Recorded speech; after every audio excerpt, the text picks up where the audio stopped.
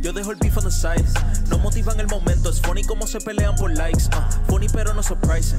Haga más foro en guest. Ya para frontal me estoy ganando el license. Mato la compa de chamo y vuelvo a los 53 como Tyson. La gorra peta como Bryson Tiller. Por eso no veo los Ryzen. Saludos mi gente y bienvenidos a Well Sport. Les habla Tony Well con los panas Georgie y Don Javi. Y hoy tenemos una invitada súper especial. Pero antes de presentarla, estamos directamente desde el Sunset Rooftop de Casilda, que está Sunset abierto. y todo, wow. Está abierto desde los miércoles, miércoles a domingo, desde las 11 de la mañana. Usted puede venir aquí y disfrutar de una vista espectacular, comida, su trago favorito. Este es el mejor rooftop que hay, así que los invitamos a que visite Cataño y no deje de visitar este rooftop que es el mejor, que es el de Casilda, el Sunset Rooftop, ¿ok? Y con nosotros hoy, de invitada, tenemos, recientemente estuvo involucrada como que en una pequeña controversia, pero de eso vamos a hablar ahorita. Tenemos que también reconocer que ha sido, que ha representado a Puerto Rico en, en la selección de voleibol femenino, jugadora de voleibol profesional y mucho más que eso. Con nosotros, Chili Ferrer. Un aplauso. ¿Cómo Primer- está? Primera controversia, ¿Shirley o Shirley? Shirley. Ya, lo sé, Shirley cocotó Temple. del saque. Como Tony, Shirley bien Temple. cocotado. Como Shirley Temple. Como sí. Shirley Temple. Shirley. Ok. Sí, exacto. Shirley. Ok, Sí. y eso yo trabajo en una escuela americana. Que, se- tengo- tengo Que se supone trabajar. que estuviéramos. Tengo que trabajar, So- pero yo siempre le saco el boricua. Sí, pero la, la gente en voleibol me dice Shirley. Y ya Pues yo como soy que yo voleibolista. no los corrijo. Pero no es el cuerpo que tiene voleibolista, corrijo, Así que si te, si te corrijo Es porque eres, eres pana. Ah, ok, ok, ok, ok. Chili, gracias por estar con nosotros. Este, ya llevábamos un ratito detrás de ti para que pudiese estar con nosotros en esa, en, en esta entrevista. Básicamente nosotros queremos saber porque eh, a- aunque pues hubo una pequeña controversia en la cual pues, se desató como al final, nosotros sabemos que tú has sido muy exitosa en el Mm. voleibol, has, has jugado fuera de Puerto Rico, nos has representado en la selección y nosotros queremos saber de dónde sale Shirley Ferrer, Shirley Ferrer, de dónde sale, de dónde, dónde comenzaste los deportes y qué fue lo que comenzaste haciendo, si fue de verdad eh, voleibol o hacías otros tipos de deportes. Bueno, primero que todo, gracias por tenerme aquí. Cualquiera va a pensar que soy muy difícil, pero es que trabajo, ¿no? Eh, pues mira, yo creo que antes de nacer ya yo estaba destinada a hacer deporte. Mis dos padres fueron deportistas, mi mamá perteneció a la selección de softball cuando estaba el famoso Junior Cruz y estaba Oh. Echeverría, toda esa, Wow. esa generación, mi mamá estuvo en esa selección y también estaba en la selección de, de Puerto Rico cuando estaba Angelita Lin. Los estoy llevando a la Oh, wow. generación. También la conocemos, sí. Exacto, pues mami estaba en esa generación y estuvo en ambas selecciones. Mi papá eh, perteneció al programa nacional, estuvo en la selección de Puerto Rico de atletismo junto con mi tío, que los famosos hermanos Ferrer en Carolina. Y ambos, eh, mi tío y mi papá fueron a las mismas Olimpiadas, los dos juntos, en el 72 y 76. Wow. Así que obviamente O sea, pues, dos- fueron dos veces a la Olimpiada. a dos. Y en- recuerdo cuando mi papá me contaba que tuvo la oportunidad de ir a una tercera. Lo invitaron, porque ustedes saben que hay unos spots que los invitan si están cerca sí. de los Sí, récords. sí, Ajá. hace, exacto, sí Pues mi cumple. papá, obviamente eso es por tiempo. Y entonces me acuerdo que él me contó que estuvo a milésimas de segundos Ah. de hacer el récord y lo invitan del Comité Olímpico porque hacen invitaciones. Si entienden que, que estás a ese nivel, pues te invitan. Y él dijo que no, que él no se ganó ese spot por lo que él no iba a ir. Así que él tuvo la oportunidad Wow. de ir a una tercera Olimpiada, pero él no aceptó. Y pues No se arrepiente.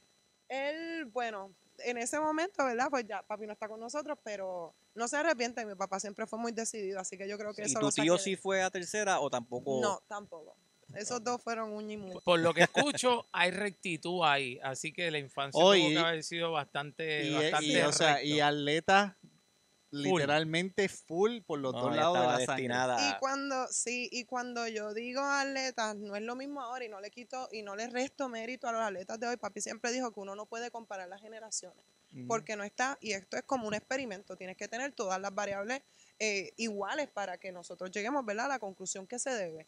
Pues él dice que no se debe comparar, pero obviamente antes sabíamos que se, ca- se corría en una pista en, en barro o en gravilla, Sí, sí. eh, los spikes mi papá se los donaban, Mi papá se iba de Carolina a Mayagüez en, en Guagua y su mamá no los apoyaba. Les decía, ahí van los caballos, pa- Eh. para decirles ejemplo. Así que fue un De, lo- de- de- de- lo- de Car- de Carolina a Mayagüez en Guagua. Guagua pública mínimo una semana llegaba. La, pisi- piscicorre esa. O la piscicorre esa que, que hacía él. había unas guaguas que, que como hacen en Estados Unidos, que hacían esa, ese tipo de viajes Ajá. largos. Y entonces creo que, o Japón, el que ellos consiguieran que los Wow, llevara, pues vamos a llevarlo. Así que ya se lo ganaron saben, bien ganado. bien ganado, sí. Wow. Así mismo es. Eh, y nada, pues como les dije, iba, iba por ahí llevándolos. Eh, creo que yo nací, estoy destinada a estar destinada al deporte desde que yo estoy, yo tengo fotos en la pista, mi papá era coach cuando yo nazco, eh, cuando yo nací. Y yo, ellos me enseñaron a amar el deporte, a, a- a defender los colores de Puerto Rico, a no estar buscando este nada fuera de lo que no fuera defender la, la bandera. Y desde ahí me enamoré del deporte, pero el atletismo me gustaba, pero llegó un momento que vi el voleibol en la escuela, yo estaba en escuela pública y le dije, papi, quiero hacer eh, voleibol. Y pues de ahí comencé el voleibol sin, enredándome en la que sí malla. empezaste por, la, por pisticampo. Eh, comencé, pero todo el mundo piensa que yo hice campo toda la vida. Mi papá entrenaba y yo me iba con sus atletas a hacer los drills, que los drills, los calentamientos. Ajá. Ok, Y mi papá, por eso yo que tengo tu la primera práctica de voleibol Sí. estaba ready Esta- eh, físicamente. sí. La paseaste, la paseaste. Bueno, no la pasé porque recuerden que todo tiene su dificultad. Claro. Eh, yo, como les dije, no, no me gusta comparar, pero todo tiene su dificultad. En la parte de, de, de calentamiento, pues yo estaba súper bien. Pero en la Tú parte de la- voleibol, Eh, Tú decías, ok, vamos a calentar. Este, Shirley, por favor, cali- calienta. me tocaba la parte de voleibol, hacía la carrera al revés, me redaba en la malla, la- el, el servicio iba para el otro lado en vez de para el frente. ¿Sabes? Todo menos lo que se suponía. Pero ahí yo ¿Y estaba. a, y a qué edad ganas. fue eso? A los qué edad? 13. A los 13. A los 13 años. O sea, tú comenzaste voleibol a los 13. Sí.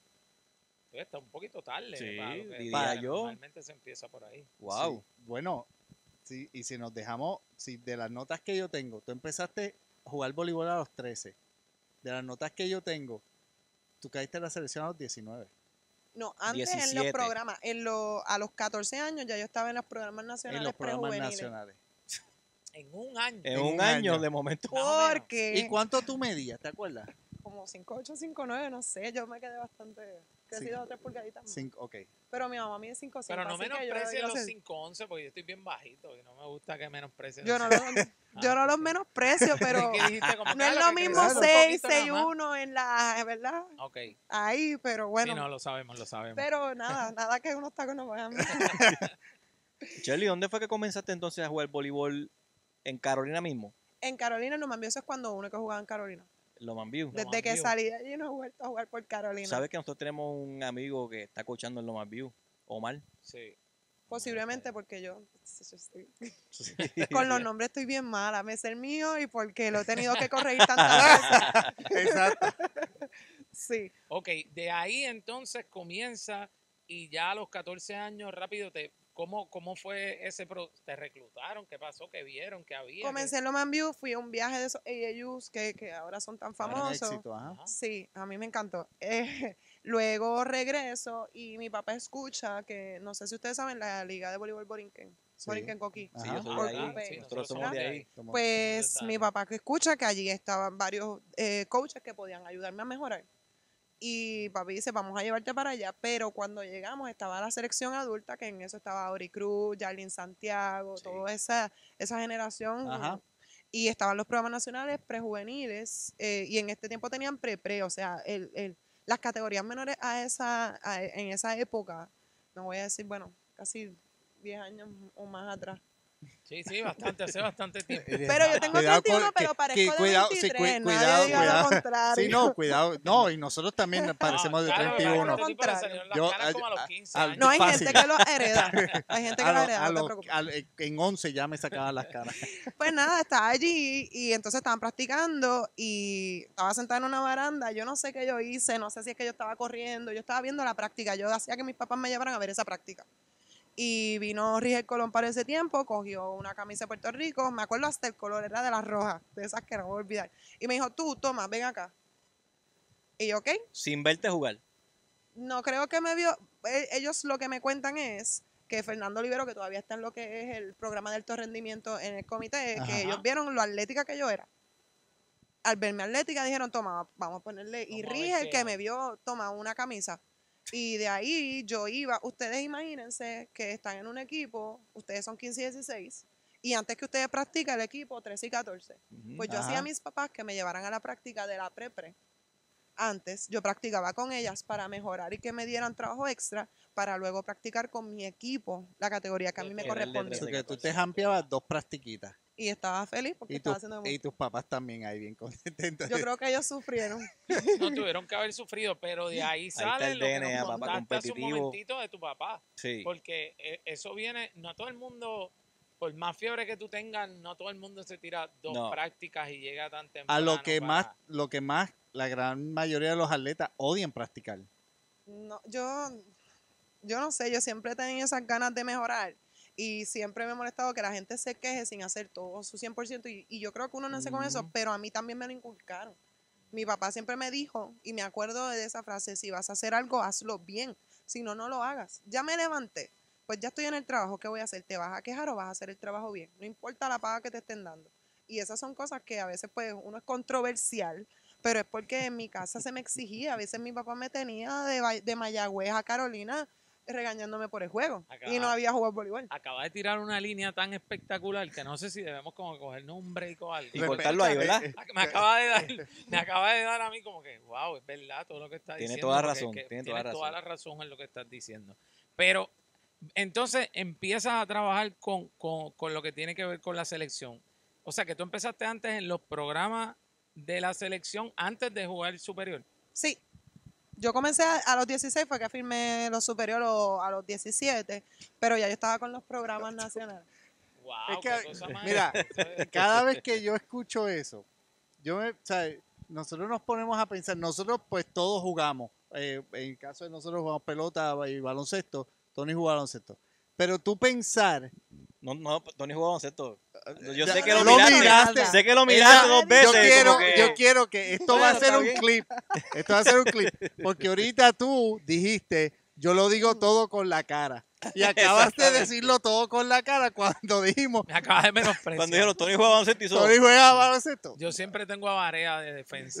Pero es que yo creo que Ah, Varia también Varea. te lleva Pues, en la cabeza. A mí ¿Qué? siempre, Bueno, no, pero no hablemos de eso. a mí siempre me ha, me ha- so- que nosotros jugamos, sabemos lo que significa.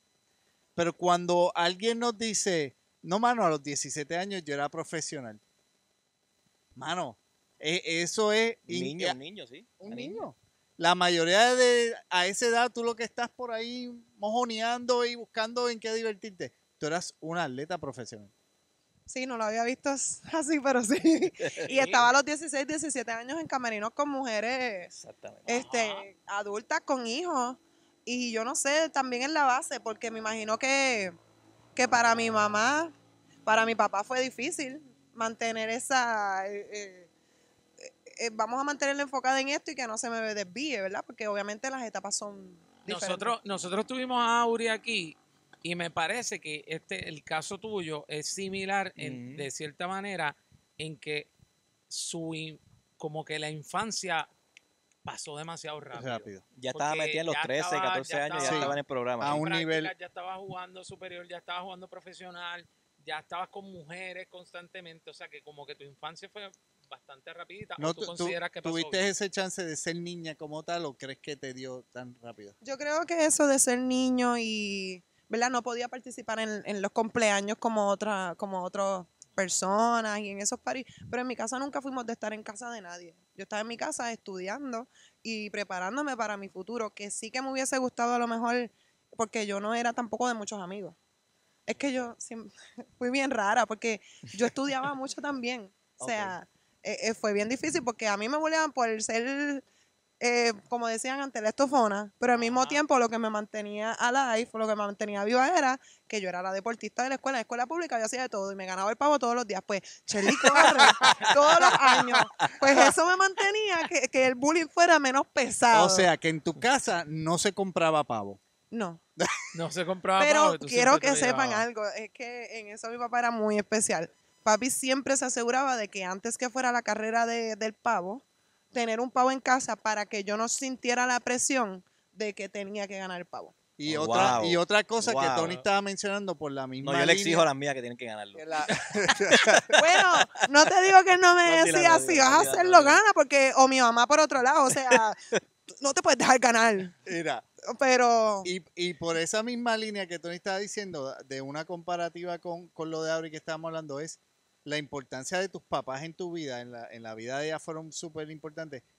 Pero háblanos entonces de la importancia de tus papás overall en lo que fue tu crecimiento, tu desarrollo como persona, que es más importante que como atleta, pero el resultado positivo que es el, el lograr ser un atleta profesional. Claro, yo doy siempre las dos comparativas porque sabemos que vivimos en un tiempo donde las familias se han transformado a los Ujú. tiempos. En mi caso, pues estaban mi mamá y mi papá y ellos siempre estuvieron ahí. Yo entiendo que a lo mejor porque sus padres no estuvieron ahí, pero eso no les impidió ser profesionales en lo que hacían, ¿verdad? Pero yo tuve la ventaja de que mi mamá todavía, a mis 31 años de edad, si yo la dejo y no es porque, y si no es porque yo tengo un hermano de 22 años, que ese es el bebé de casa y que mami lo Ajá, cuando se va al trabajo y cuando regresa que llegue bien. mi mamá estuviera en, mi- en la cancha conmigo en mis prácticas o quedándose en mi apartamento o, o- muchas cosas para estar ahí conmigo porque le gusta. O sea, yo jugué en Francia y mi mamá me llamó una vez y me dijo, ¿y tú crees que tú jugaste bien?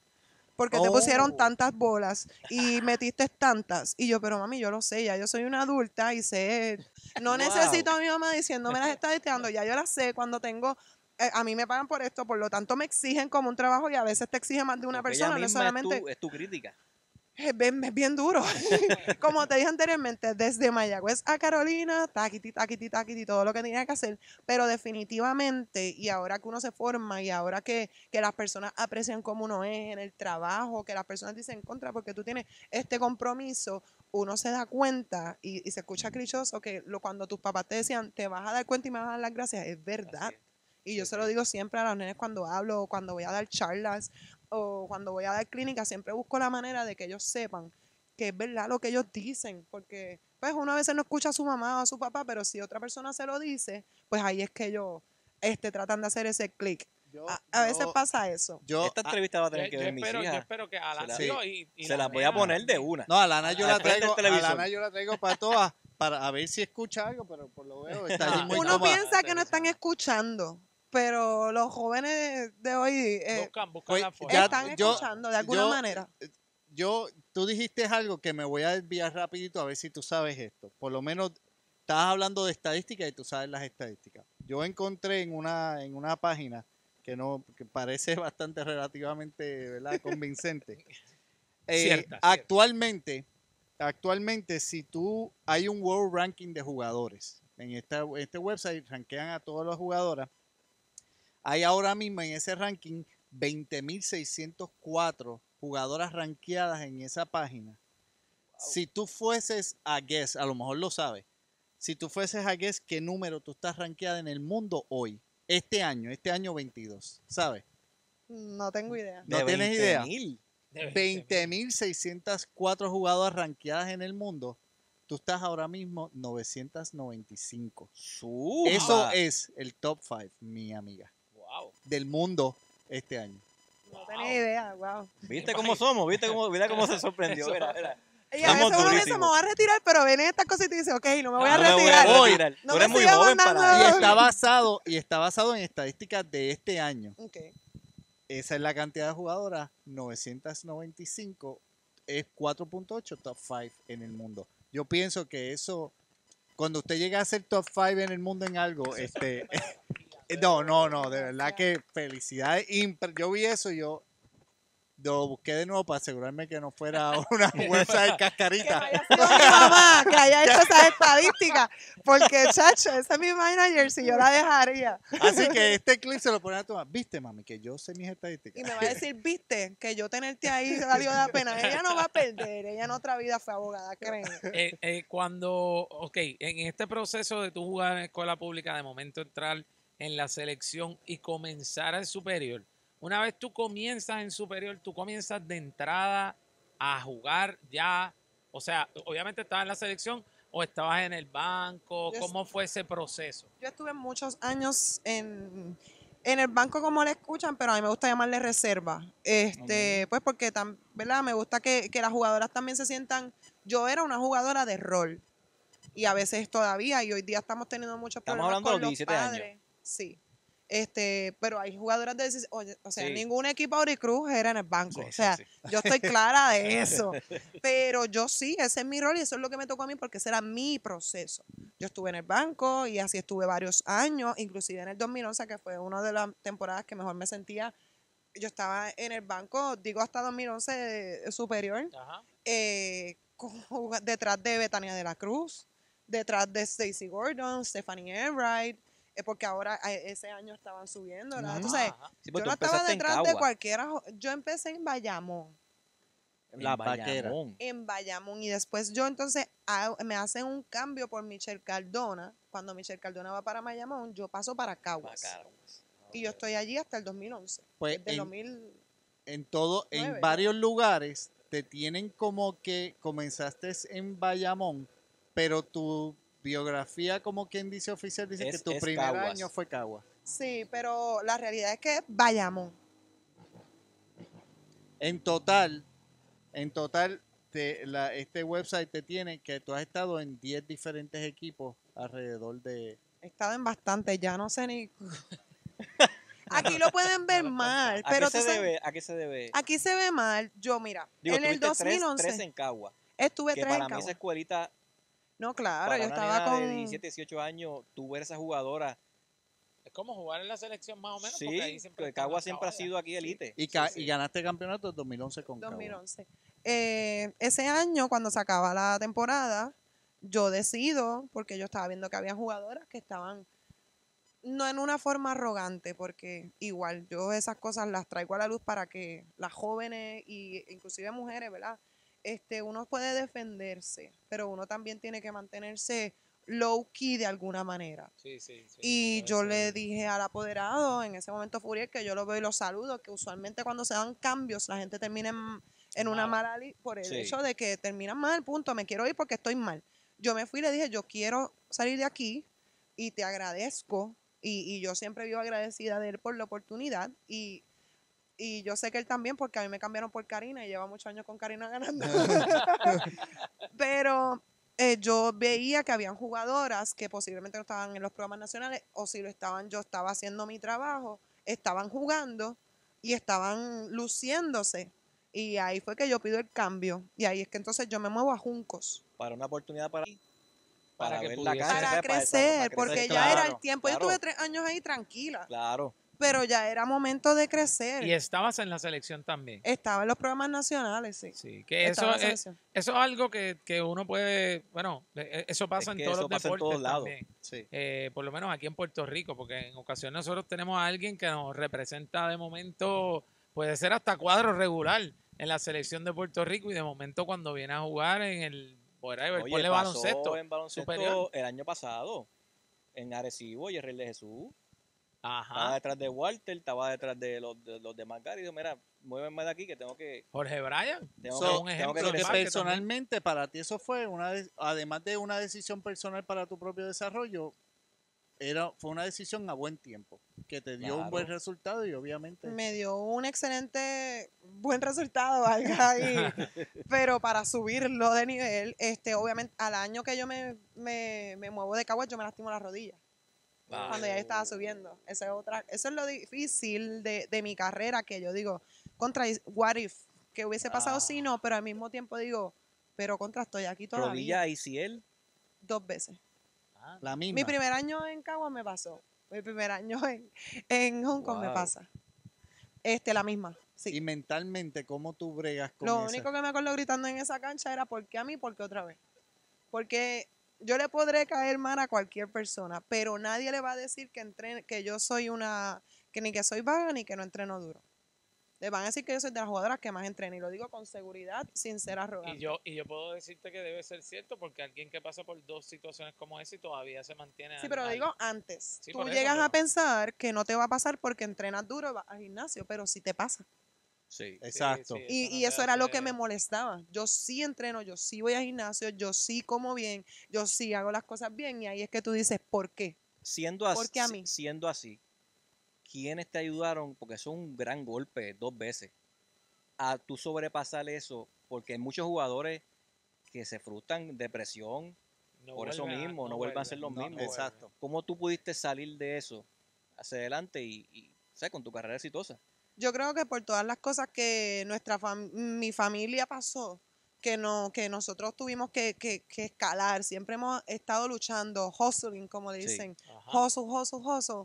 Esto sería una, una valla más, pero particularmente porque Jun Correa, por darle un ejemplo, es el trainer de Caguas. Yo no estaba allá en Caguas, pero me dijo, yo te voy a ayudar a regresar a una cancha.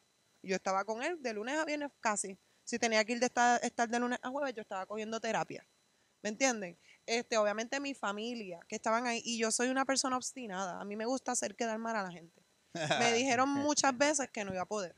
Cuando a mí me dicen que no puedo, es cuando a mí me que- dan ganas de decirles, yo sí puedo. Porque la gente te limita porque ellos viven limitados. ¿Y qué cara les pusiste? Ajá, Yo la siempre misma pongo de. La mala. misma. no, Aquí la- yo estoy bien, pero yo pongo cara de mala. la- o fue la cara de Tony cuando dijo que jugaba baloncesto. Sí. Eh, sí. No, ah, que no. Eh, ah, Mira, sí. no se entonces- preocupen. Ok, so que estamos, estamos, hablamos básicamente de esos primeros años en superior. Ok, 2016, Francia. Ese proceso, ¿cómo fue? ¿Cómo, cómo, cómo fue la, verdad? El approach, ¿cómo overall? Eh, 2000, bueno, yo paso ahí a Cataño, estuve dos años en Junco, paso a Macao y de ahí voy a, a Cataño. Eh, perdón, en ¿Todos estos Cataño son cambios o es que tú filmas? Un- eh, fueron cambios en eh, de Junco a Macao fueron cambios, me imagino que por lo de las rodillas será, por algún momento ellos, uno no los culpo, porque ahora yo estoy en la parte Sí, administrativa y no no- los no- culpo de no- pensar, porque estadísticamente son pocos los deportistas que pueden regresar bien en óptimas condiciones de sus rodillas. Así que yo no los culpo. Ahí pasó Macao y de Macao, l- si no me equivoco, y esta es la historia y espero que no me mate nadie, los apoderados, el apoderado y el coapoderado, uno de ellos pasa a Cataño y él me pide, ¿verdad?, a, a un Macao, porque un Macao entiendo que recesa ese año, si no me equivoco. Y ahí yo paso a Cataño. Y este, estuve 2015-2016, ese era el periodo de olímpico, que se iba a ser el equipo olímpico, con las Ajá. posibilidades de que se fuera a las Olimpiadas Ajá. Fueron de mis mejores años. El 2016 yo llegué entre las primeras cinco anotadoras y fui la primera puertorriqueña. Eso es así. Con Annie Drew jugando, que es la zurda que está opuesta jugando con Estados Unidos. Exacto. Este, estaba Saray Álvarez jugando. Estaban muchas jugadoras de Do- nosotras. 2000 2016 top 5 anotadora y best blocker, ¿verdad? En el French Cup. En el French, es, ah, pero allá en el French Cup. Pero estoy hablando de Cataño. en ese mismo Cataño. 2016, eh, alguien me dice, tenemos un contrato para ti cuando estoy con la selección en el proceso de que estamos haciendo la, el equipo. De, de- en junio, porque nuestra temporada Cataño fue de enero a mayo. Pues de ahí ya yo paso en este periodo donde tú estás con las selecciones en verano. De mayo a Ajá. agosto, por ejemplo, septiembre, pero en junio que tuvimos una Copa Panamericana, a mí me hacen un acercamiento de Francia. Realmente no recuerdo ni los detalles, pero nada, este entiendo que fue Marco Macías, que es el esposo de Daran- de no, de Polani, Yantín. Ajá, de Yantín. Exactamente. Y entonces, pues, él me, me, me conecta con alguien y ahí entonces yo acepto irme a Francia. Pero a mí fue un proceso duro y llegando a lo que quería contestarte, fue un proceso duro porque a mí de, esa, de ese equipo a mí me sacan. Yo soy de las que cortan. Entonces, irme a Francia con eso en las costillas, que yo tenía ese sueño olímpico. Ok. Eso, Eh, eso, eh, eso, eso, esa eso, pregunta eso a mí me, me- Eso, eso, ese Eso tema nosotros también. lo queríamos tocar porque a nosotros nos estuvo. no, queremos es saber que eso fue duro. qué es lo que yo- está, qué es lo que pasó realmente Porque en esa tú- situación, pero no. tu papá y tu tío pasaron por el sueño de una olimpiada. Y tú estás Sí. ahí. Tú Ganas estás ahí. aquí para ir a las Olimpiadas y después te cortan. Dejamos que tú nos, nos cuentes tu sentimiento y todo. Ajá. Y nos Bueno. lleves a través de eso. Obviamente en ese momento, pues, pues fue duro, todavía lo sigue siendo, porque nunca le puedes decir a papi, mira, lo hice como tú. Y desde chiquita él te estaba diciendo, cuando se molestaba conmigo, yo soy olímpico, bla, bla, bla, bla. O, tú sabes, son cosas, pero te, te lo decía, no sacándote en cara, pero empujándome Eso a es más. motivación. Exacto, de una manera rough, ¿verdad? No, no, no se la recomiendo para todo el mundo, ¿verdad? Eso es una no todo nota. el mundo la va a poder Pero hacer ¿cómo tú tal Exacto. como es. mentalmente? Es que volvemos. fue Dos duro y más como me lo dicen. A mí me, yo me fui porque nos dan un tiempo de irnos. Yo pensaba que yo iba a ser el ese equipo. fue en mayo. Yo pensaba que yo iba a ser el equipo, si le soy sincera. Yo Pero trabajé ¿por para ser el no equipo. O sea, Porque iban a cortar a dos. Y se llevaron 14. Eh, todo el, eh, to- todo el, el verano. Y para las Olimpiadas tuvieron que cortar porque obviamente pues sabemos que hay unos procesos y te tenían que llevar a 12. Ok. ¿Qué pasó ahí? ¿Qué te dijeron? me sacaron. Sí, No te, pero no, yo, y- pero por lo menos la, Sí, la, la razón que te dan a ti, porque por lo quisiera pensar que te, que, que profe- ay Dios mío, me da miedo a decir esto. Quisiera pensar que profesionalmente se sentaron contigo y te dijeron, ya tu cara. Yo les ¿Qué- dije que mis caras no mentían, ¿verdad? Así que saben que voy a ser sincera en las A entrevistas. eso es lo que queremos. So que, Fue liter- duro porque a nosotros nos dan y para quitarte de la presión yo la puedo coger, no te preocupes. ya estoy acostumbrada. Y eso que nosotros somos los panas. Exacto, exacto. Sí, pero este tema yo sé que es delicado o, o es difícil tocarlo. Pues a nosotros nos dan unos días libres para hacer el escogido del equipo, pero para que tengan sus vacaciones porque y veníamos a entrenar más duro cuando regresamos.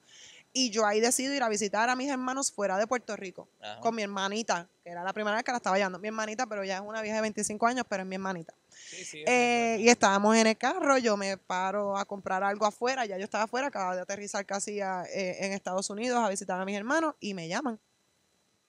Te fue por llaman. teléfono. por teléfono. Y no estaba bien. el coach presente. Tomaron la decisión y lo llamaron sin el coach presente. Él sabía la decisión, pero se adelantaron. Ah, ya, el- Y fue duro porque para mí en ese momento pues Carlito era como un papá porque yo llevo con él desde que estaba en high school. Sí, Carlito es nuestro pana. bueno, sí. Pero me dieron la noticia sin él ahí. Por el teléfono. Él. Sin O sea, él pero ahí. esa decisión fue tomada por él y los y la directiva. o Al no parecer tiene- sí. Eh, Hubo, hubo muchas, hubo muchas versiones. Sí, Pero quien me la da, que voy a hacer, a lo mejor yo hubiese esperado que fuera él. claro. No sé si no le dieron la oportunidad, no quiero ser injusta, porque ya yo he aprendido, a veces en esos momentos uno reacciona, pero ya yo he aprendido que todas las historias, hoy me dijeron que las historias tienen tres versiones. La de la persona, la de uno y la verdad, ¿verdad? Wow. Eso es Que yo aprendí eso mucho- hoy. Y que mucho estamos aprendiendo nosotros. Pero brutal.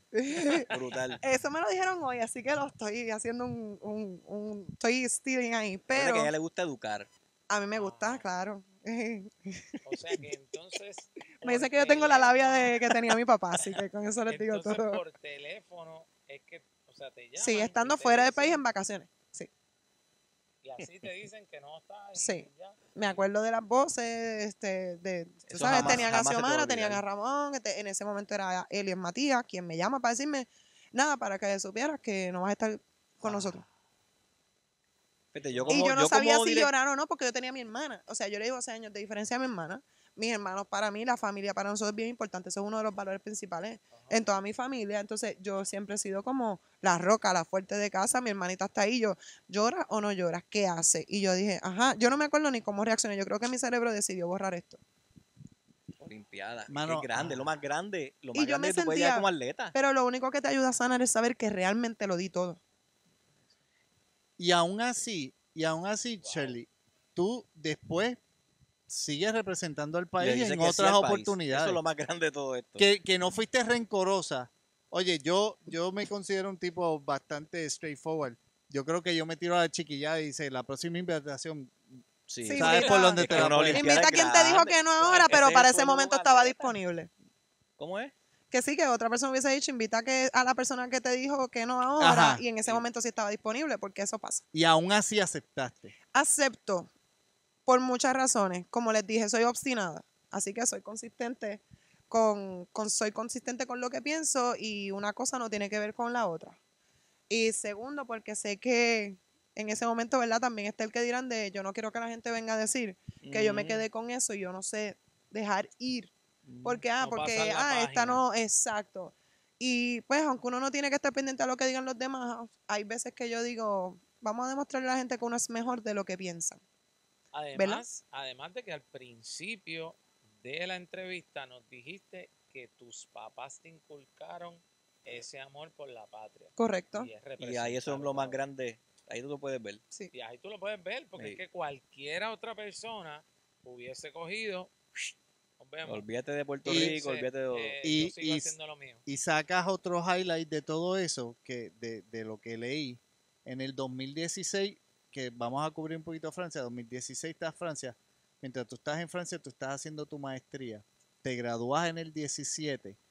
El día que te gradúas, tienes la graduación y por la tarde te vas para Perú con la, con la selección. Si eso no se llama commitment, Ah, pues yo- yo- También les dije que si iba a hacer algo, lo iba a hacer bien. exactamente. Así que, y dicen que uno es feliz cuando lo que uno piensa lo lleva también a acciones. Y todo es congruente. y en Francia, overall, ese año este, ganaron, si no tengo Llegué entre las primeras 10, 5 anotadoras cinco también. anotadoras. Ganamos el French Cup, que aquí nadie se enteró, por no decir casi nadie.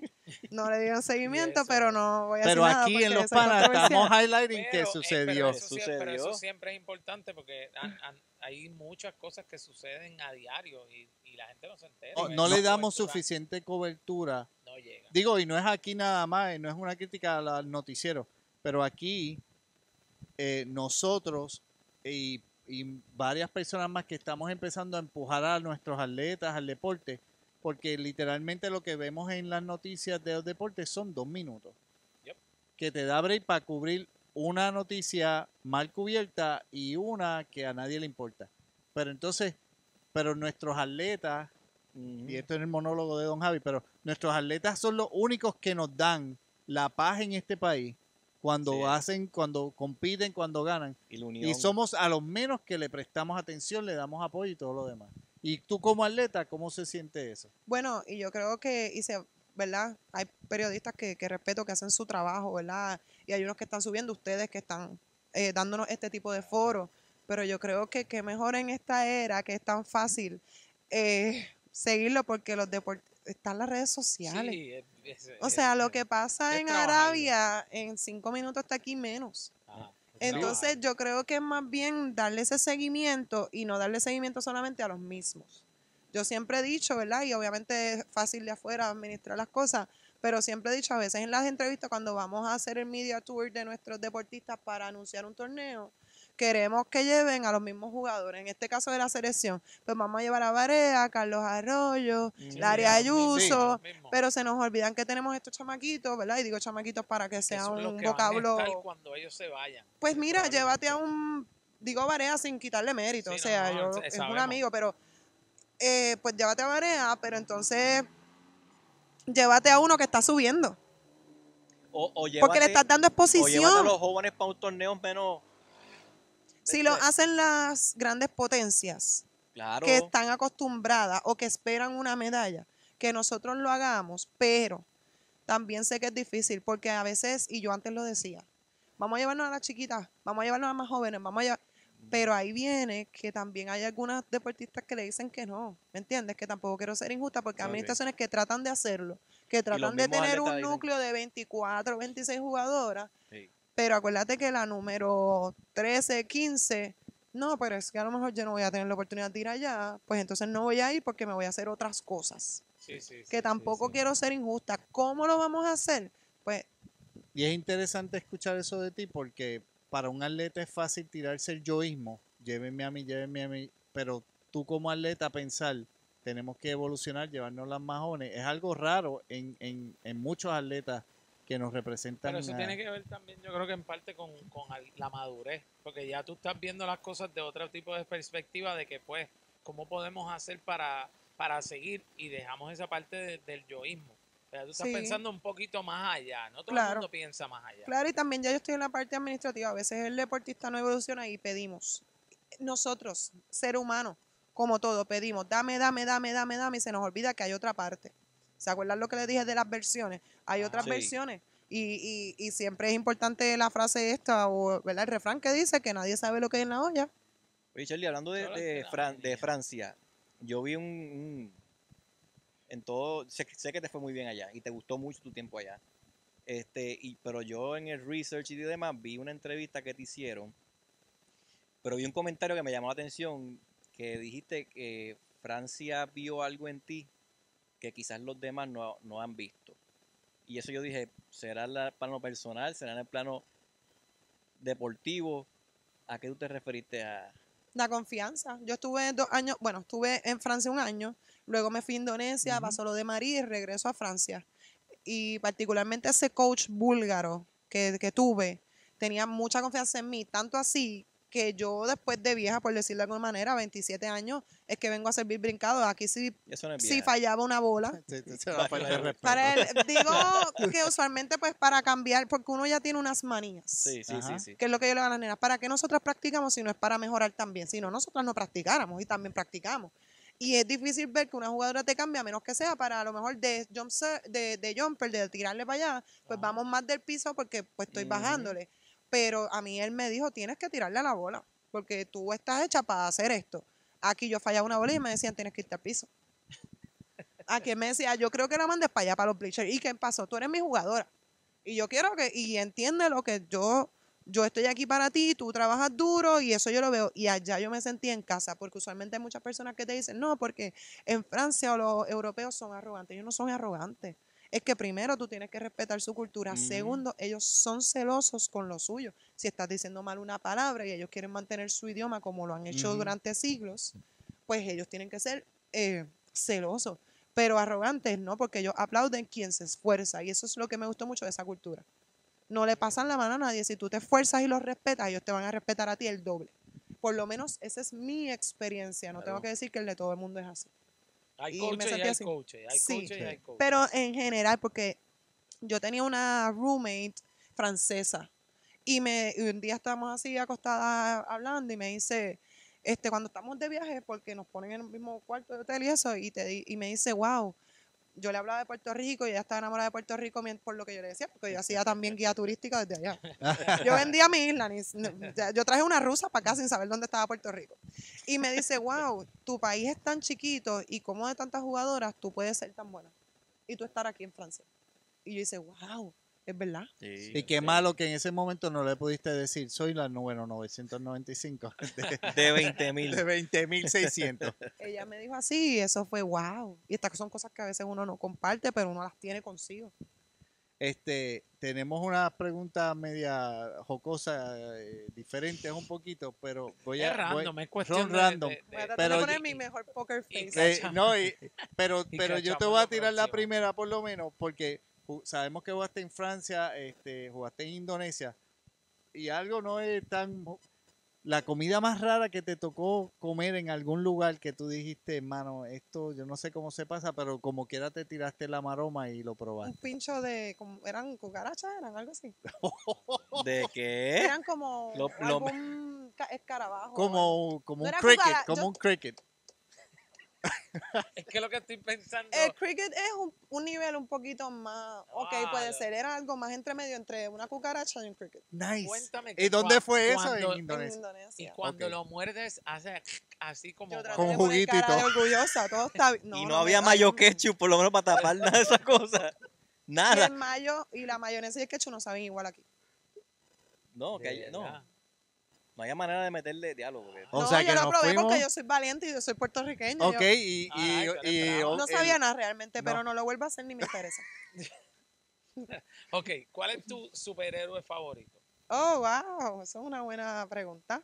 Hay tanto, No se lo ah, digas hay tanto, porque después va a se lo cree y olvídate, lo Es seguimos. que no lo he pensado. Ah, no. Ah, ¿Cuáles son las opciones? ¿Me puedes dar opciones? opciones. no, no, Superman, que te gana. Spider-Man, Batman, Flash, He-Man. eh. Wonder Woman.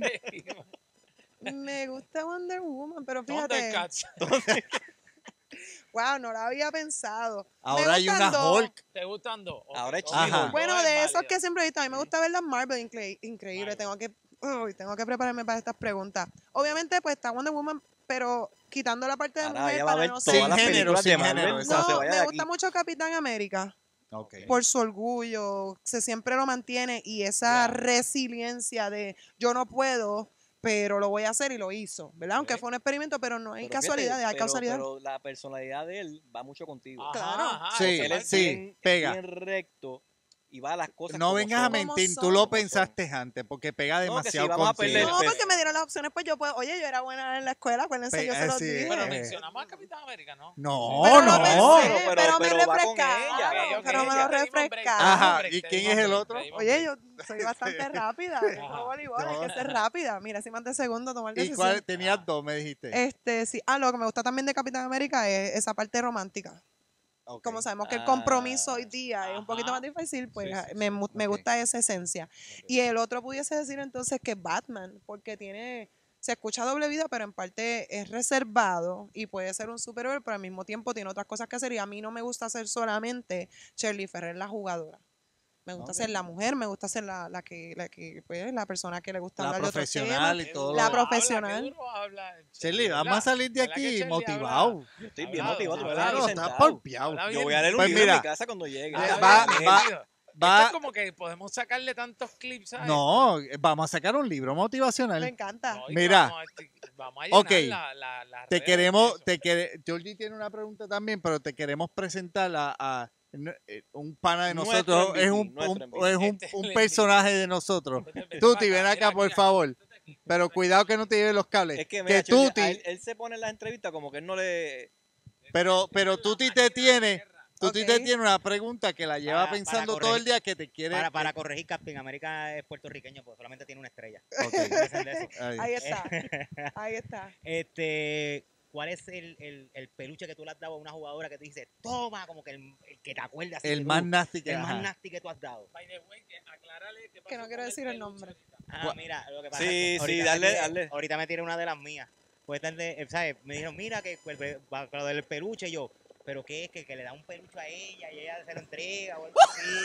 Era lo que dijo él, Shirley. Eh, Que era que si hay algún intercambio, alguna, que alguna, un intercambio cuando están así, que como- los juegos, que los juegos te entregan algo. Y, y yo, paro, pero claro que vas a saber lo que es un peluche. Nunca había visto a alguien tan confundido con ese término. No, de verdad, yo, yo créeme que me perdí. Me perdí Qué bueno que ya llegaste. Sí, ya llegué.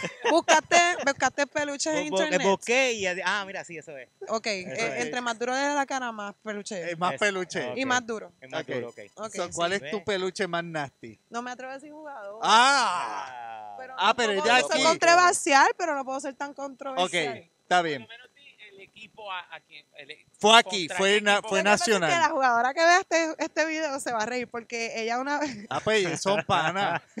porque ella estaba en un equipo y yo estaba dándole y a veces pues a mí se me zafan dos o tres ah. y le di, yo juego la posición dos, right side, eh, opuesto. Opuesto, opuesto, sí. Eh, posición derecha, exacto. Y yo le di de dos pagos y ella estaba en un equipo y le di en la cara y ella es bien blanca. Y se le quedó colorada. a mi casa. Pues no hay problema. Pero al, año- al año pas- el año que el- el Siguiente. Se cambia equipo y ella dice, pues yo pienso que tú no me vas a volver a dar y le volví a dar a ella en la misma situación y me dices, ¿en serio? ¿Tú me estás hablando en serio? O sea que el peluche es doble. Es doble, fue doble. Y, y me, aunque ustedes no lo crean, yo soy Te- un poquito tímida. Me sale lo de chiquito cuando era Te pequeña. sentiste mal. Un Gracias poquito. Porque ella no me está diciendo nada. Si llega a ser de estas jugadoras que sí, me sí, están que te empieza a hablar. que me están molestando, pues. Pero, ya- pero, tú, o sea, pero tú pero no, de- o sea, espérate, espérate, en el medio de la contestación no te pares No, te no me no ok, pero, pero, ok, pero yo de alguna manera. Yo de No, algo- tengo un balón y no doy. ya, eh, yo de alguna manera, Yo soy pacífica fuera de la cancha. ok, so que eso fue, eso fue aquí, ok, y no vamos a decir porque es, es, es Pero amiga. también me han dado peduches, pero está bien porque el karma ya. Ok, Sí, yo. este, Georgie te tiene, No, si, si tú no fueras voleibolista, ¿qué sería Shirley? Aunque tengo una idea de qué puede ¿De ser, pero deportista o fuera de? pues, si no, nada de atleta, si no fuera, si no fuera voleibolista, ¿a qué te hubieras dedicado? ¿Qué te hubiera gustado? yo te ser? tengo dos, fíjate, que te- nada más de verte, Dale, pues, te- ajá, dale, a ver si la Dale, adelante. maestra o psicóloga. Pues yo siempre dije que quería ser maestra. Cuando pequeña. Siempre dije que quería Qué ser maestra. estoy. Qué dura está ese. Es muy difícil obligado. hablar con ella porque Siempre que sí. quise ser maestra, obviamente de los tiempos, me gusta educa- educar, ¿verdad? Y sabemos los tiempos que están viviendo los maestros, Ujú. pero siempre bus- uno tiene vocación. Pero también me he dado cuenta que yo encontré mi propósito, que es el servicio a la gente. Ok. Yo disfruto Ok. estar trabajando en una iniciativa y atenderte y que te vayas y me digas gracias. Ok. O trabajar con la gente mayor, con nuestros viejos, y que si le estamos ayudando en algo y dándole un servicio, sea cual sea, y que el viejo me diga, Dios te bendiga, gracias por atenderme porque tal persona no me atendió de esta manera. Sí. ¿Ves? Y a mí me llena mucho el servicio, me llena ayudarte, me llena que te sientas tranquilo. Y eso realmente para mí, yo encontré mi propósito, que hay gente que está toda la vida buscando Ah, su propósito. correcto. Yo encontré que mi ah, propósito Amen to es- that. Sí, Tengo dos sí. hijos que no saben qué quieren hacer en la vida. Ok, Pues Pero vamos- una cosa es tu yo propósito tengo y una otra pregunta. cosa es qué tú quieres ser. Ahora se soltó Yo le tengo. tú, No, una última, una última. Una última, una soltó. última. Una última, una última. dale. Ok. mencióname cinco atletas all time. Puede ser cualquier disciplina, no importa la que sea, tu five all time. No tiene que ser. No tiene que ser boli, no puede tiene ser que ser cualquier voleibol, puede ser deporte. cualquier deporte. Esa era una pregunta para más adelante, pero ya que está cómodo, Pero pues te la vamos a la Se soltó, así Sí, que no, ya no, sabe. sí, sí. Lo que pasa es que no me leí el- script. bien. Sí, ah, No me leí el script. tu, top 5 de atletas pueden ser de aquí, pueden ser de, De cualquier deporte. exacto. Ok, este, obviamente de voleibol, Sheila Castro. Ella es mi, de mis favoritas. El número 13, opuesto, y cuando tú la ves, tú no piensas que es voleibolista. Porque es tan delgada. Eh, Anyways, Sheila. Ay, Dios mío, qué difícil. Eh, obviamente voy, voy a mencionar a mi papá, Ah, Ya, Muy bien, muy bien. está perfecta. Julio Ferrer, Muy bien. que hizo tiempos espectaculares, el tiempo que era difícil, en las vallas. Este, ya llevo dos. Ajá. Ya Ay. Dios mío, qué presión. Es que estoy pensando en, la- en los deportistas que me llaman mucho la atención. Exacto, nítido, nítido. Este, me gustaba mucho de varones de voleibol Jiva. Ok. No sé si eh, uno de los grandes. Ok. Es que tengo muchos de voleibol. Pero pueden ser boli, pueden Sí. ser los que sí, te lo que- lo que te impactaron a ti que tú lo ves Obviamente dices- en casa no podían faltar las peleas de Tito. Ya Oh, esa está bien, Porque, buena. mira, todo el mundo grita Tito, Tito, pero lo que Fíjate, Tito mandaba. no lo mencionan mucho. Ah, pero yo vivía en esos tiempos. Mi papá una vez se deslizó con, del, se deslizó con un hombro por estar haciendo. Eh, a Eh, a rayos. rayos. Sí, por estar en la O pelea sea- 12 rounds. Se tiró, se tiró un tuti. Sí. Buena. Este, di- dije ya cinco, pero yo creo que dentro de. Tienes cuatro, te falta no uno. te vengas a Tengo cuatro. Y adiantre, estoy tratando de buscar a alguien de baloncesto. Diantre. Posiblemente cuando salga aquí voy a decir, ¿por qué no dije Ajá, este? exacto. Este, baloncesto. Está bien, te las perdonamos. si Bueno, te puedo queda- decir en tenis. Ah, Serena, claro. lo que Ah, representa. Muy bien, Queen, muy bien. The Queen. Lo que Cerra- representa. Cerra- cerraste bien. Ok, pues va, ajá. Gra- gra- gracias. Gracias, Tuti. Gracias, Tuti. Gracias, muy Sí. bien. Gracias. Tremenda participación. Gracias. Adelantaste cosas, Ga- pero no sí, no, se fue. Él cogió Tú el libreto y, Tú siempre, y lo usó. siempre has sido especial. Ajá. este, lle- llegamos al punto de, de la entrevista en donde tenemos que tocar el tema de la controversia que hubo recientemente en, en el video Bastalla. Sabemos pues que estaba en, en medio de, de unas semifinales en, en el voleibol superior y pues su- se suscitaron eh, unas cosas que estaban, algo que estaba pasando que parece que ya llevaba un tiempo y tú tomaste la decisión y yo creo que fue la decisión correcta y nosotros te la Que celebramos. mucha tan gente has pronto- educado con eso. Tan pronto salió, nosotros te lo celebramos porque en ocasiones a veces la gente dice por ahí, ah, la gente está buscando pauta o qué sé yo qué diatre para tratar de hacer ruido, pero realmente lo que estabas diciendo era algo serio. Queremos que nos hables acerca de Basta Ya, de dónde sale todo este movimiento y realmente qué es lo que tú quieres crear con todo esto, que en ocasiones pues la gente puede tergiversar el mensaje y pensar que es otra cosa. Pues sí, este. Nada, yo hice el video sin pensar que iba a calar, ¿verdad? ¿Dónde, dónde llegó? Eh, es difícil porque cuando yo era pequeña me bulleaban mucho. Y una de las razones por las que a mí me bolearon era por mi color de piel. Y la gente piensa que en Puerto Rico eso no pasa. Y tú dices, un niño de 5 a 11 años, donde se supone que todo es peaches and cream, que uno dice, ay, qué vida tan fácil Sí. Pero tienes un niño que tú no escogiste, yo no me hice yo misma y puse "Ay, un poquito de, de aquí de broncito para la piel, ¿me entiendes? Entonces, No fue que por nos algo en la playa un ratito más ni nada. en el oven, en el, nuestras mamás nos cocinaron bien. Este, yo no Este elegí está esto, crudo, este Yo pero aunque no lo creas, mis tías son como él. ¿Ah, sí? Yo tengo tías, tías, las hermanas de mi Mi mamá, papá. que son rubias con los ojos azules. exacto, Sí. exacto, exacto. mis primas son coloradas. Yo tengo primas coloradas. Este, pues, anyways, pues fue duro porque tú dices, yo no escogí esto, porque me está pasando a mí. Entonces, llegas a adultez, dices, contra, soy una persona exitosa, pero vas a un, ya yo también voy de fanática, porque como les dije, yo nací en el deporte. Ya yo voy como fanática a las canchas y a mí a veces me cuesta y me gustaría siempre tener unos headphones para no escuchar a la gente cómo hablan del deportista o las cosas que le gritan, porque no les digo que yo no he podido gritar algo por, a mi equipo, vamos, toma, o lo que Ujú. sea, pero tanto de llegar a decirle cosas ofensivas, es como que quién va a decir algo. Entonces, papi siempre me decía, siempre me decía que yo era demasiado. eh, mi hermana dice que yo soy intensa, ¿verdad? Y yo desde chiquita, pues siempre quería cambiar el mundo. Y eh, como lo escribí, que hice un escrito de esto que decía, pues no necesitaba cambiar el mundo, a lo mejor necesito decir las cosas que están pasando hoy día. Sí, Y a lo mejor con eso cambio vidas. Bueno, un buen granito. Claro. Este, y fue duro ver una niña que ya me pasó, que tú te sientes tan inofensiva, o sea, tú no sientes que tienes ningún poder porque te acuerdas, y como aparece en las películas, que tú ves como la gente se imagina y tú te ves otra vez siendo ese niño, aunque estés de adulto, no sé si, si te puedo llevar hasta ahí, Sí, sí, sí, sí. en estas escenas así espectaculares, donde una niña te está diciendo, Charlie Mona, pero en una forma racista. Sí, sí, Porque no te digo que en casa en algún momento pudimos haber este, molestado en la forma racista. ¿Y por qué, por qué otra razón me diría mona si no es por mi color de piel? Por- y- Claro. Y por porque lo escuché y escuché a los fanáticos decirlo. Y en ese juego ya hasta le hice corazones a los fanáticos. Y me reí con ellos. Y cuando vinieron, Shelly, te queremos. Y yo les dije, yo espero que a sus nietas, a sus hijas, ni a nadie le griten lo que ustedes me gritaron. A ver si, a ver si puede aguantar. Porque ahora tenemos niños que ustedes saben que desde la pandemia, los suicidios en los niños, Sí, que tú no, dices a los nueve años que puede estar pensando un niño para quitarse la vida y cuánto puede estar sufriendo que no lo dice, que uno tiende a ser más sincero a esa edad, se están quitando la vida.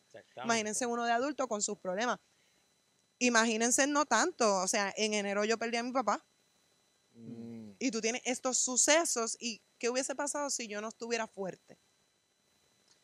yo, pero esos sucesos no es la primera vez que te pasa. No, porque desde chiquita me había pasado y a las En- en las muchachas yo las había escuchado en las canchas. En las canchas, fíjate, a mí siempre me habían tratado bastante bien, pero me sorprendió hasta lo que tenemos que llegar y me sorprendió que hubiesen jugadores aplaudiendo esto, jugadoras. Mm. Pasa es que uno no va directo a esto. Hay Wow. jugadoras y gente que ha dicho, tú lo que has hecho es un media tour de esto. No, que yo les dije a ustedes cuando entré, mira, yo no quiero ir a la parte que le estoy tirando a nadie. Sí. Yo quiero educar porque tenemos niñas. Oye, a lo mejor, y como me contó alguien, Shirley, yo me mudé para República Dominicana y a mi hijo lo molestaban porque eran los blanquitos de la escuela. Exacto, Porque un niño se tiene que sentir así cuando tú no escogiste eso. Así que estamos hablando de las dos versiones. Yo no quiero que nadie se sienta así. Yo pude lidiar con eso, pero también lo he llorado, lo he sufrido. Muchas de esos bullying uno lo carga. Es como cuando la gente que ha sido obesa, gorda, te dice, Sí, sí, que te no me, me siento todavía mal porque todavía me veo y me siento como gordo, punto. ¿Me entiendes? Por eso es que le ponen psiquiatras cuando les van a hacer sus operaciones bariátricas para saber si están listos y cómo Pero- prepararlo. Esta no es la primera vez que tú te expresas sobre esto. Porque tú, o sea que por pauta yo no puedo, tú el año pasado, creo que fue el año pasado, que salió el documental de, Sí, ya, ah, que hizo Julio Rivera Saniel Sí. en Guapa, exacto. eh, de la sangre, eh, Yo, lo tengo aquí, lo tengo aquí, te lo voy a buscar. Va a el llegar, título. va a Yo lo vi, sí, yo lo vi. Sí, bú- búscalo. Sombras de una verdad. sombras de una verdad. Sombras de una verdad. Y el que no tenga la véanlo. Porque a mí me impactó. Eh, y tú fuiste parte de ese documental. Y ese documental era para educar. Porque aquí mucha gente piensa que en Puerto Rico esto no se da. Y Guapa salió con este documental y participaron muchas personas. De diferentes Shirley, áreas. eh, la Bulbu, este, niños. Que ahí fue que yo salió un niño de un niño que los mismos maestros le estaban haciendo bullying en los salones. Los Sí. mismos maestros. Eh, o sea que ese documental a mí eh, me impactó mucho. Y yo creo que pudieron ir más deep, pero obviamente hay cosas que tú no puedes presentar en televisión.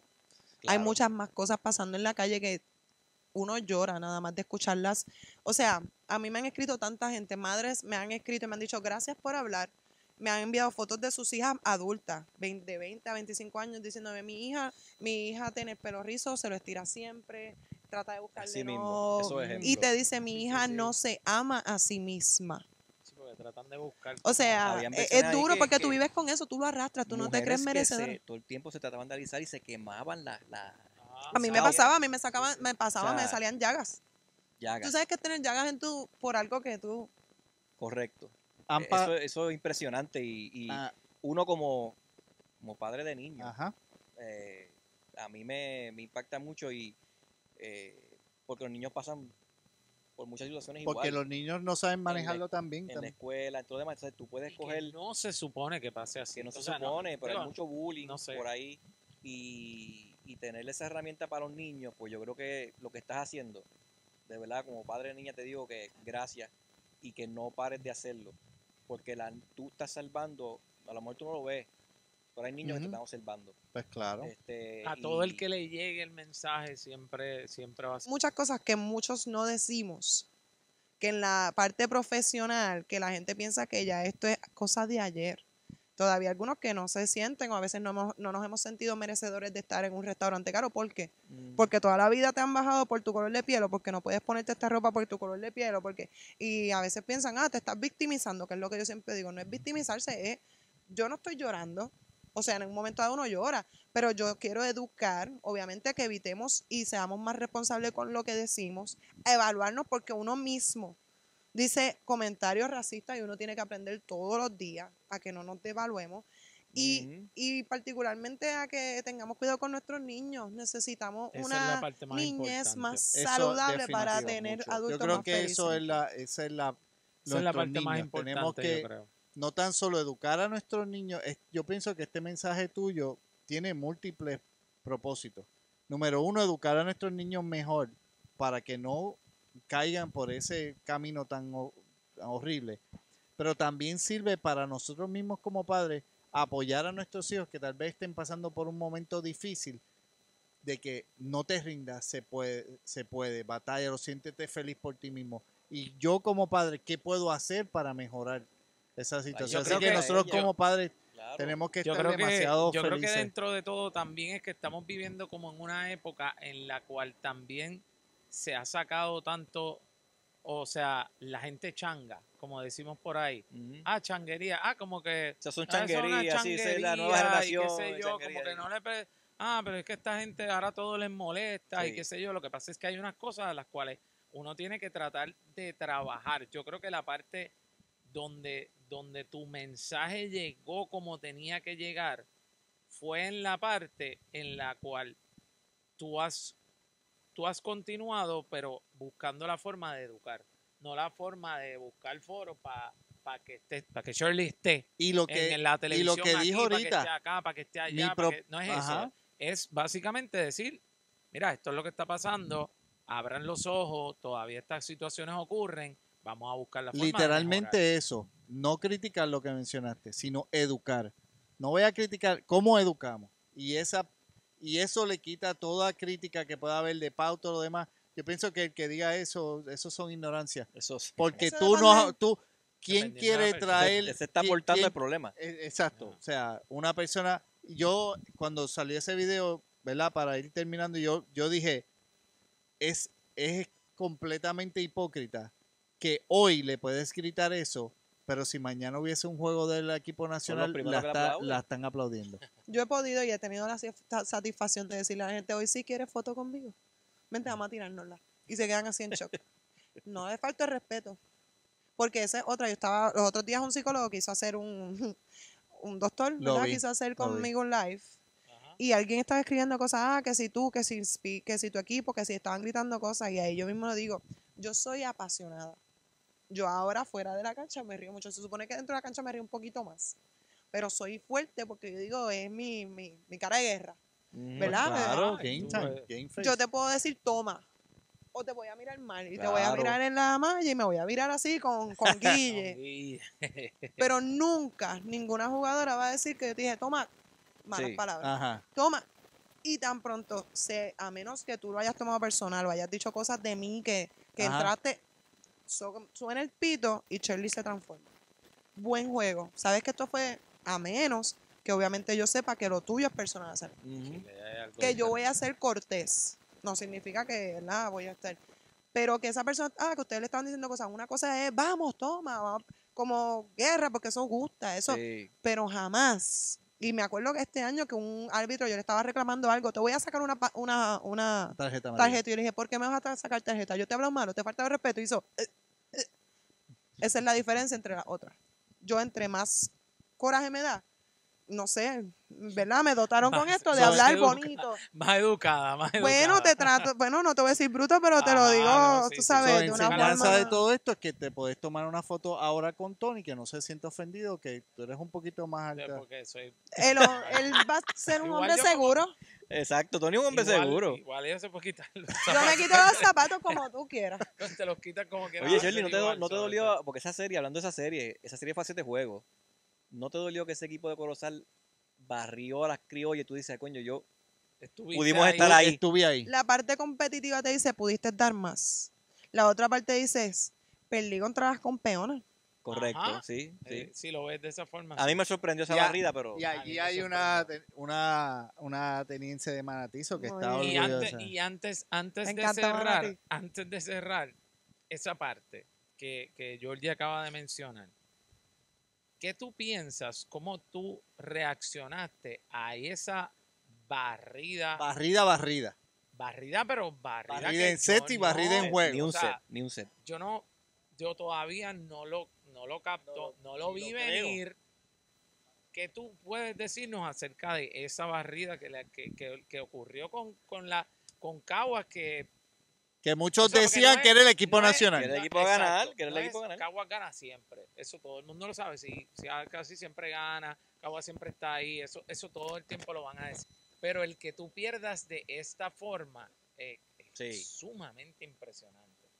Yo no lo esperaba, ¿verdad? Pero el deporte, por eso es que lleva tantos siglos siendo interesante, porque siempre nos sorprende, por más que pensemos que el libreto está dado. Tú puedes tener favoritos, pero pueden pasar muchas cosas, por eso yo siempre digo, no se acaba hasta que se acaba. No se acaba hasta que se acaba. Y el deporte sigue demostrándonos que nothing is impossible. No era la forma que tú esperabas. Nadie lo esperaba porque obviamente tú, tú dices las jugadoras de, de la selección pero se nos olvida que hay este, es- es- estos términos que dicen, estoy en mi pick. Esto, y por eso está la metodología del deporte. A veces tú llegas a tu pick antes de tiempo y después no te reacciona. Sí. O a veces simplemente no estoy diciendo que ya no estaban en su pick, pero el otro equipo vino preparado. Sí, sí, sí. ¿Me entiendes? Y el deporte sigue demostrando que si lo estudias bien, porque tú, a mí me dicen que, que Ángel hizo un excelente trabajo estudiándolo. No que Carlitos no hizo su parte, porque sabemos que si vamos a decirle de un genio de Bolívar es Carlos Sí, Núñez, sí, ¿verdad? eso no está- eso no está en Pero. Ángel fue acomodador, le da otra visión de juego, sí. tuvo jugadoras que le respondieron, venían con hambre y obviamente uno a veces, a nosotras nos pasó en Lumet, yo estudié en Lumet y llegó un momento que teníamos que ganar porque estábamos todas en superior, pero no nos salía nada y ¿Qué- tú lo estás, pero tu monte? cuerpo, tu cuerpo no reacciona o tú quieres pero no puedes y entre más te empujas más difícil se hace.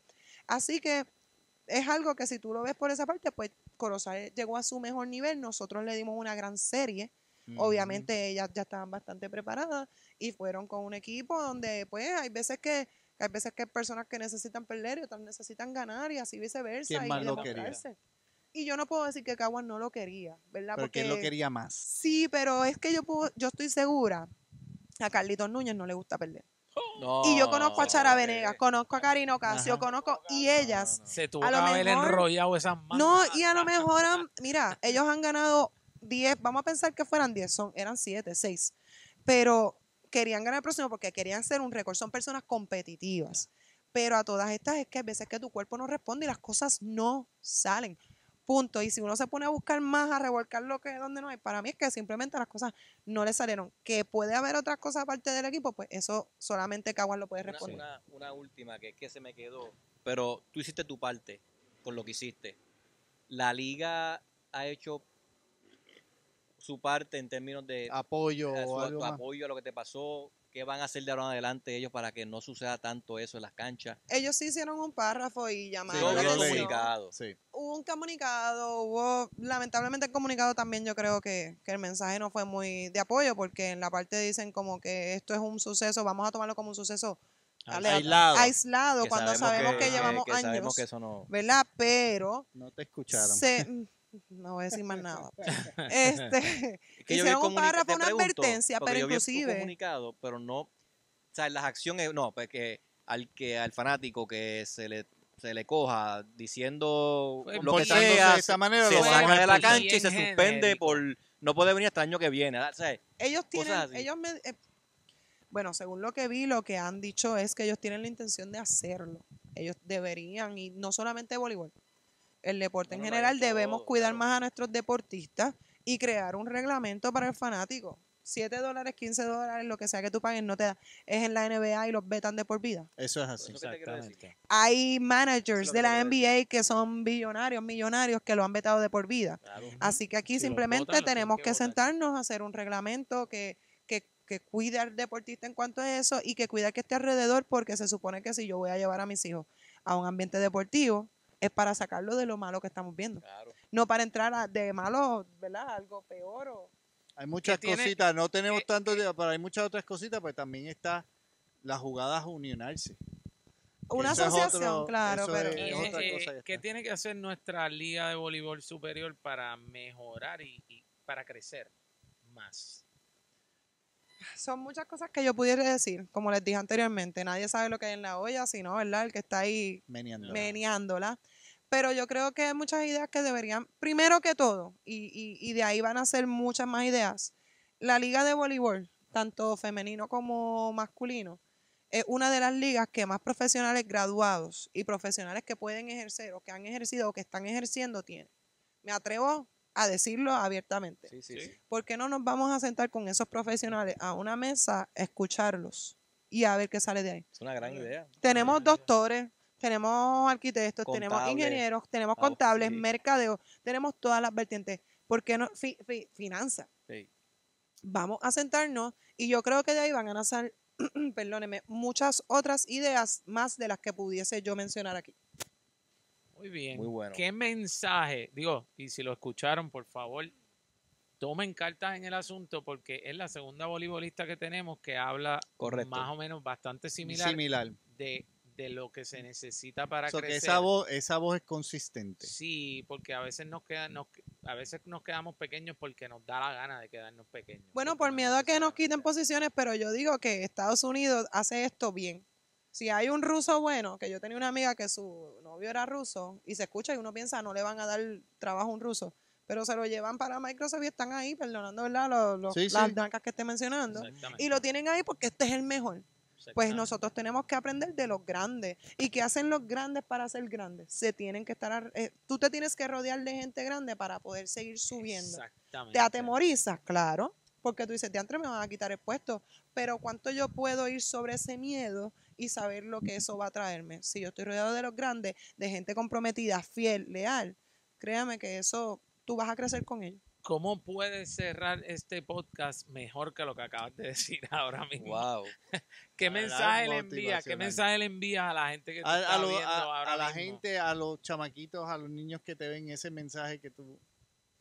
Wow, yo creo que he hecho muchas cosas, pero particularmente a todos aquellos, porque yo, ¿verdad? Ya dije que, que yo tuve el apoyo de mi familia, pero sé que hoy estamos viviendo algo bien difícil, que tenemos familias que no están unidas. Sepan que, así como mi papá, que, que a lo mejor sufrió de que su familia no lo apoyaba, llegó, todo el mundo puede llegar. Que no se quejen si no están haciendo, que tenemos muchas quejas sin hacer, sin levantarnos temprano, sin dar todo lo máximo. Y que yo creo que si tú das todo lo que tienes en ese momento, no necesariamente te va a salir como tú quieres las cosas, pero vas a encaminarte y lo que obtengas va a ser duradero. Porque a veces nos comparamos, y esa es otra cosa de este mensaje, que nos estamos comparando con el proceso del lado. Como adultos también estamos mirando, diantre, aquel en este trabajo pudo conseguir este, o aquel tiene esta posición, está ganando este. ¿Cuál es tu proceso? Que lo identifiques y que vayas ahí con gringola, lo que usan los caballos, sin mirar para el lado solamente para inspirarte, no para compararte, para inspirarte para que sigas creciendo. Y ese, y ese mensaje... Estoy ready ese para me- correr tres millas ahora mismo. ese me- y, e- y ese mensaje me gustó porque Gringolas lo que usan los, los caballos, peluche, tuti, no lo que no lo que dan, sino el, cuando te la El- pegan en la cara. Así que maestra al fin explicando con detalle todo. Y si supieras que no estudié maestra, Mira, Te pero agradecemos el que, el que hayas estado con nosotros, de verdad, de verdad, de todo corazón. Eh, Yo, yo creo que todos uno, hay, hay unos tantos mensajes aquí eh, en este podcast que puede ser probablemente uno de los, de los, de los sí, más deep Sí, Deep, mano, de verdad que que le tratamos de meter, pero el eh, mensaje, eh, el en, cuestión de, de, de, de todo lo que ha salido de la conversación. Te agradecemos por haber estado con nosotros. Estamos súper orgullosos de- del movimiento, de lo que estás haciendo. eh, Y gracias por haber estado con nosotros. Sí, gracias por estar con nosotros. Te deseamos suerte, obviamente. Te felicitamos por lo que has logrado y te deseamos éxito. Mi esposa siempre me dice, no es suerte, es éxito. Sí. Gracias. Es- es- Así es mismo. éxito. Ey, éxito. y tengo que decirlo, pues si no me regañan. Este, eh, éxito, te deseamos éxito en todo lo que tienes a nivel de cancha y profesional. Así que gracias por estar con nosotros y pasar. Jordi, un ratito. despedirte, No, yo se lo dije allá en la cara. Yo, gracias por, por estar aquí. Gracias por lo que estás haciendo. Quiero que sepas que yo como padre te respeto mucho. eh, de, de lo que está haciendo, lo que, his- lo que has hecho dentro de la cancha y lo que haces fuera. Eh, y uno lo ve ahora más que uno es padre y, ese mensaje. nenas, tiene dos nenas que están empezando. Sí, y estás empezando en voleibol también. So, no, no, no dejes de hacer lo que estás haciendo. Ay. Porque Y te lo agradece siempre que está, se- siempre se tira tirado. tirado. Él está muy Él está cómodo. Este- pero sí, pero está Yo trato de controlarme, Loco. pero después Pero después, después llega. Así que No, gracias a ustedes por la oportunidad. esto fue Los Panas con Shirley Ferrer. Lo dije bien, ¿verdad? Lo dije bien. Shirley, lo dijiste Cerramos bien.